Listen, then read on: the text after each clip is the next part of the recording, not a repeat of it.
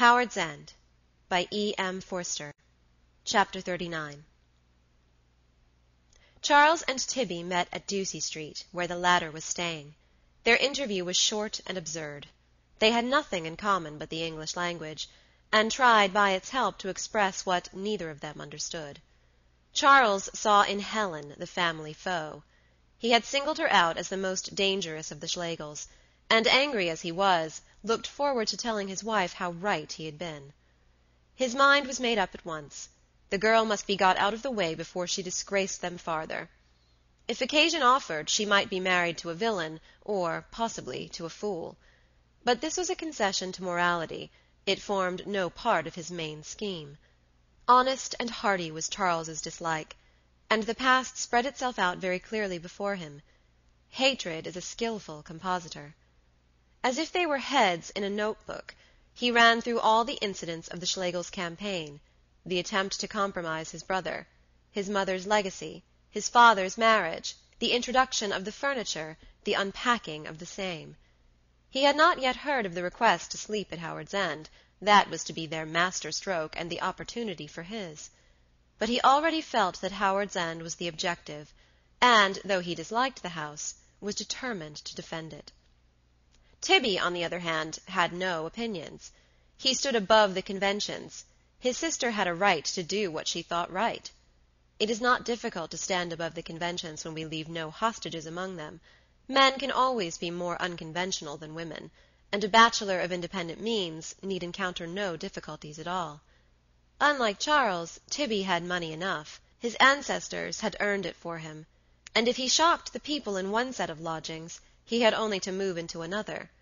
His was the leisure without sympathy, an attitude as fatal as the strenuous; a little cold culture may be raised on it, but no art.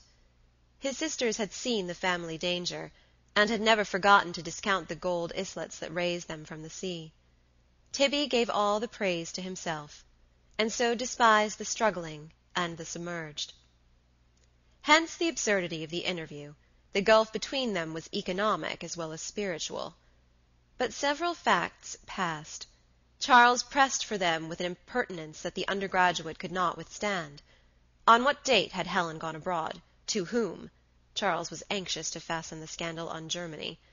Then, changing his tactics, he said roughly: "I suppose you realize that you are your sister's protector." "In what sense?" "If a man played about with my sister, I'd send a bullet through him. But perhaps you don't mind." "I mind very much," protested Tibby. "Who do you suspect, then?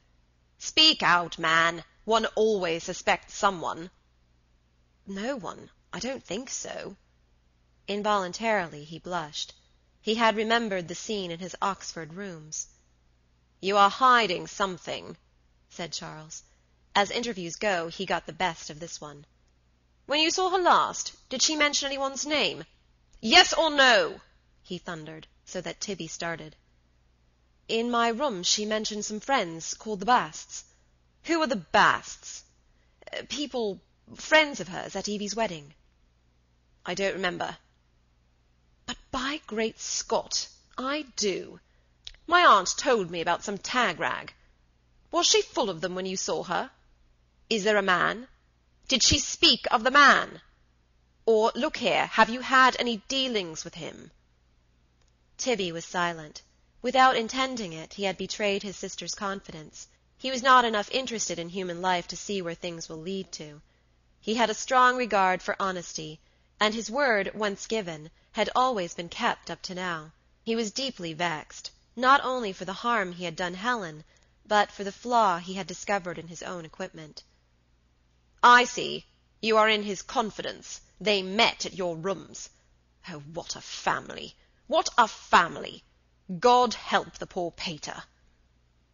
And Tibby found himself alone.